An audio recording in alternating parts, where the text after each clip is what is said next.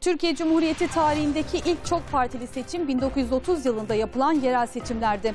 Seçime Cumhuriyet Halk Fırkası ve yeni kurulan Serbest Cumhuriyet Fırkası katılmıştı. Şehrin metalinden itibaren hükümet meydanına kadar 1930 yerel seçimleri CHP'nin baskı ve engellemeler sonucunda CHP'nin farklı galibiyetiyle sonuçlandı. Serbest Cumhuriyet Fırkası yöneticileri bu seçim sonuçlarının gerçeği yansıtmadığını ileri sürdüler. Onlara göre seçimi kendileri kazanmıştı. Sonuçlar baskı ve fesatla elde edilmişti. Ali Fuat Cebesoy, partisinin gelecekte Gazi Mustafa Kemal ile siyasi sahada karşı karşıya gelmek vaziyetinde kalabileceği, bu durumdaki bir siyasi yapının varlığını parti genel başkanı sıfatıyla koruyamayacağı gerekçesiyle Serbest Cumhuriyet Fırkası'nı feshetmek zorunda kaldı. Serbest Cumhuriyet Fırkası'nın ömrü sadece 98 gün sürdü. Daha sonra yapılan 1934, 1938, 1942 yerel seçimlerinin de karşısında hiçbir muhalefet partisinin bulunmadığı CHP seçimlerin tek başına galibiydi. 26 Mayıs 1946 yerel seçimleri Türkiye Cumhuriyeti'nin ikinci çok partili yapılan seçimi oldu. Cumhuriyet Halk Partisi ve Demokrat Parti arasında geçen seçimde İsmet İnönü'nün CHP'si birinci parti, Celal Bayar'ın partisi Demokrat Parti ise ikinci parti oldu. Demokrat Parti seçimler açık oy gizli tasnif yöntemiyle yapıldığı için seçim sonuçlarının sorunlu olduğu gerekçesiyle konuyu mahkemeye taşımış ancak bir sonuç alamamıştı. konuşmada başvekilimiz demiştir ki Kırşehir 1946 seçimlerinde yaşanan usulsüzlükler 1947 yılında yapılan muhtarlık seçimlerine de yansıdı. Türkiye siyasetine damgasını vuran sandık namusumuzdur sözü ilk kez Mersin Aslanköy'de yapılan muhtarlık seçiminde kullanıldı. Mersin Aslanköy'de köy halkı mevcut muhtarı değiştirmek için sandık başına gitti, oyunu kullandı. Ancak sandıktan çıkan sonuç mevcut yönetimi memnun etmedi. Valilik askeri birlik göndererek sandıklara el koymak istedi. Mersin Aslanköylüler başta kadınlar olmak üzere sandık namusumuzdur diyerek sandıklarını vermemek için direnerek demokrasiye sahip çıktı.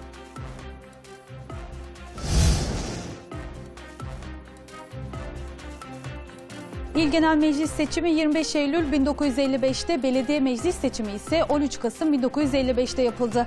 Bu seçimlerde Demokrat Parti belediyelerin ve il genel meclislerinin büyük bir çoğunluğunu alarak başarı sağladı. Bu başarının ardından Demokrat Parti yükselirken Cumhuriyet Halk Partisi düşüşünü sürdürdü.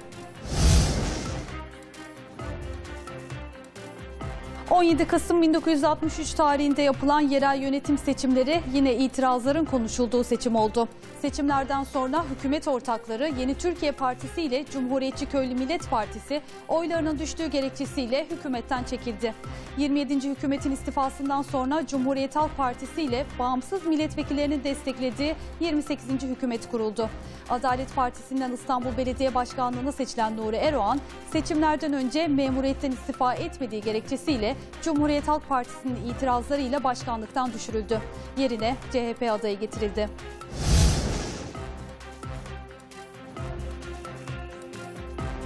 getirilmiş.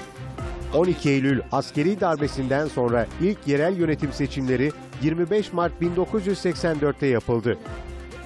Türkiye'nin umudu ve Kalkınmanın Partisi şiarıyla seçime giren Turgut Özal liderliğindeki Anavatan Partisi birinci parti olarak çıktı. başladı. Anavatan artık milletin hizmetindedir.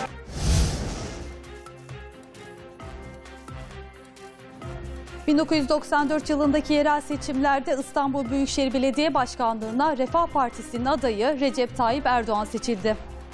Sonuç Milli Görüş Cephesi için bir zaferdi. Ama İstanbul'da tercihini Erdoğan'dan yana kullanmayan kesim 28 Mart günü Erdoğan'ın ne yapacağı konusunda bir hayli tedirgindi. Faiz lobisi, baronlar boş durmadı.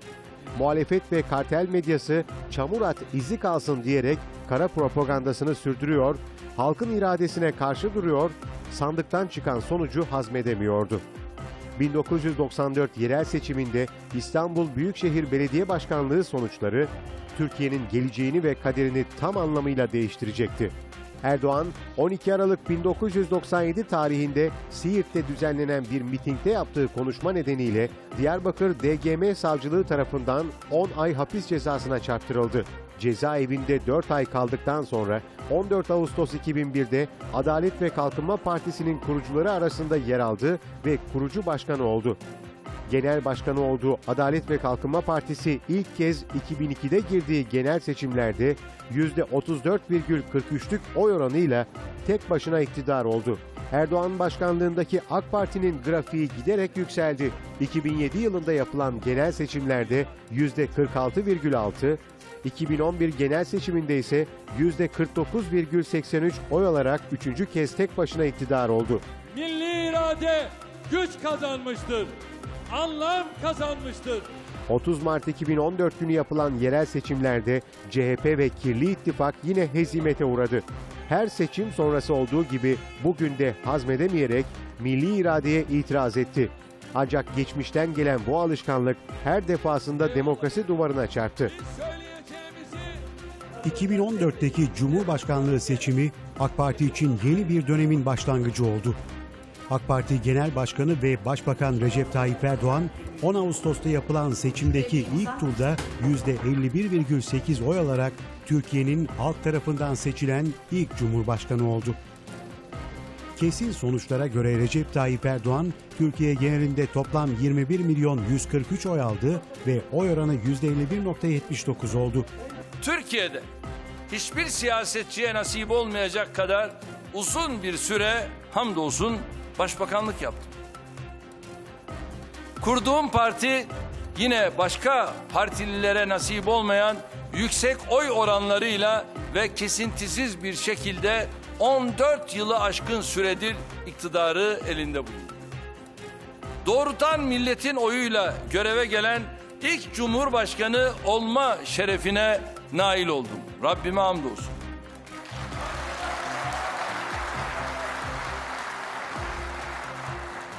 Bu sonuçla muhalefetin çatı adayı Ekmelettin İhsanoğlu ve HDP'nin adayı Selahattin Demirtaş'ı ezici bir farkla geride bırakıyordu. Bugün milli irade bir kez daha kazanmıştır.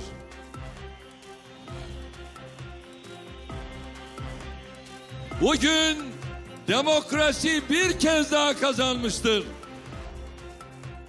Bugün şahsıma oy verenler kadar şahsıma oy vermeyenler de sevenlerimiz kadar sevmeyenlerimiz de kazanmıştır. Bugün 77 milyon 81 vilayet kazanmıştır. Hiç kuşkusuz bugün yeni Türkiye, büyük Türkiye, öncü Türkiye kazanmıştır. Erdoğan'ın ardından AK Parti 7 Haziran seçimlerine giriyor. Bu seçimde %40,87 oy oranına sahip olmasına rağmen bu oran AK Parti'nin tek başına iktidar olmasına yetmiyordu. Yapılan tüm koalisyon görüşmeleri sonuçsuz olup yeni bir hükümet kurulamayınca ülke erken seçime gitmek zorunda kalıyordu. Bu kararın ardından halk 1 Kasım'da tekrar sandığa gitti. Seçim sonuçlarına göre ise AK Parti %49,36 oy oranıyla Türkiye Büyük Millet Meclisi'nde yeterli sandalye sayısına ulaşarak yeniden tek başına iktidara gelmiş oldu. Cumhurbaşkanı oldum diye bu mücadeleden vazgeçmemi bekleyenler varsa hiç kusura bakmasınlar. Onları hayal kırıklığına uğratmaya devam edeceğim.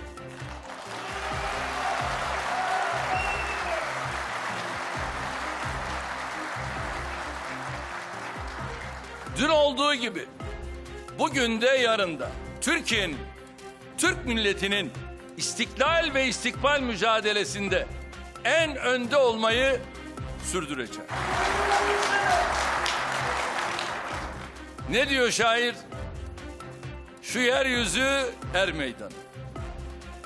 Gönül sevmez her meydanı. Yürek size yorgan döşek. Koç yiğide ver meydan.